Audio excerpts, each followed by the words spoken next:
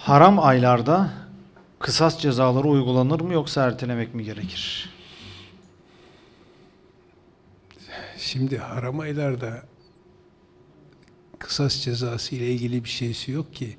Haram aylarda sadece savaşmak haramdır. Ceza vermek değil. Ne diyor Allahü Teala? Estağfirullah yeselûneke aniş şehril harami qitalin fih.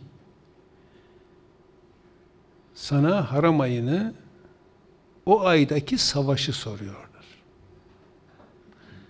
Kul qitalun fihi kebir. De ki orada o ayda savaş yapmak büyük bir suçtur. Savaş birisine kısas cezası vermek savaş mı? Onda bir, bir, bir sakınca yok.